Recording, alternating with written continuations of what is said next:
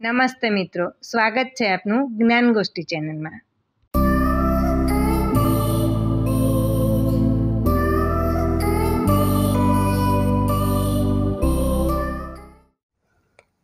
તો ચાલો મળીએ આજ એક નવા પુસ્તકને. પુસ્તકનું નામ છે જીગરની જડીબુટ્ટી. પુસ્તકના સર્જક છે શૈલેષ સતપરિયા. મિત્રો, સાવ અજાણ્યું લાગતું આ નામ સૌરાષ્ટ્રમાં ખૂબ જ જાણીતું છે.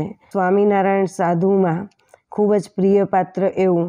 આ ખરેખર તો એક ગુજરાત કેડરના ગવર્મેન્ટ ઓફિસર છે, જેમને ગુજરાતી સાહિત્યની સેવા કરી છે અને ગુજરાતી વાચકોને એમનો લાભ હંમેશા મળતો રહેશે.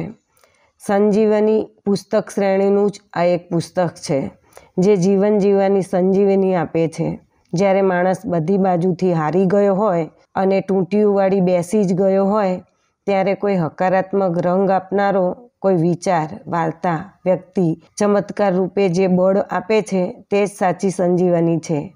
બાકી હકીકતમાં હનુમાનજી, લક્ષ્મણજી માટે સંજીવની લેવા ગયા, ત્યારે તેમને પણ સંજીવનીની ઓળખ નહીં થતાં આખોય પર્વત લઈ આવેલા.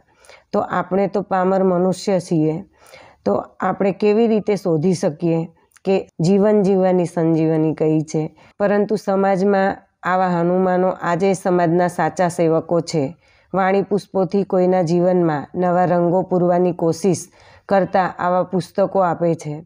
અને આવા પુસ્તકોમાંથી મને સુરતના અનાથોના નાથ એવા મહેશ પપ્પાની વાત વધારે સ્પર્શી ગઈ. જેઓ નિસ્વાર્થ ભાવે અનાથ દીકરીઓના લગ્ન કરી આપે છે અને સાચા બાપ બની રહે છે. એમના દ્વારા લગ્ન કરાવેલા પંદરસો જેટલા પરિવારો નવા બન્યા છે અને અનોખો આખોય પરિવાર નાત જાતના ભેદભાવ વગર લાગણીના તંતુમાં એવો તો બંધાયો છે કે કોઈનું એ કામ અટકતું નથી. બાકી આજે સગા ભાઈ બહેન વચ્ચે પણ માત્ર નામના સંબંધો બચ્યા છે. સમાજમાં ઘણા આવા ભામાશાહો છે જે પોતાના ધનને સમાજ માટે વાપરવાની પ્રેરણા મેળવી શકે છે. અને બીજી વધારે અસરકારક વાત એ બાળકોનો કાગળ લાગ્યો જેમાં બાળક ભગવાનજીને ધરતી પર પોતાના પર થતા અત્યાચારની વાત લખે છે.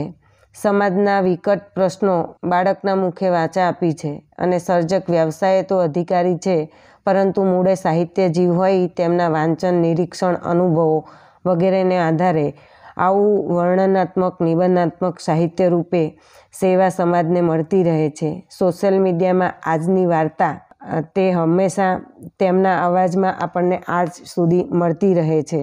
એમ કહીશ કે મને ખૂબ જ ગમ્યું આ પુસ્તક અને વાંચવા જેવું કહી શકાય એવું સાવ શોર્ટ અને સ્વીટ પુસ્તક છે મિત્રો. સાવ જ થોડા પેજનું આ પુસ્તક તમે એક જ બેઠકે વાંચી શકો એવું છે. તો જરૂર વાંચજો.